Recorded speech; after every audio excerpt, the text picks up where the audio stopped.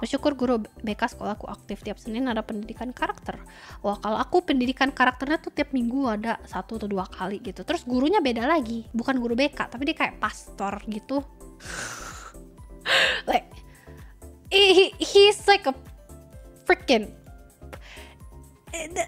it's supposed to be about teaching pendidikan karakter tapi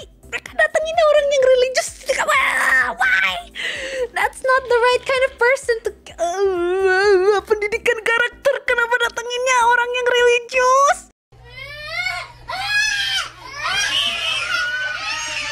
Uh, sorry. Um yeah I'm fine.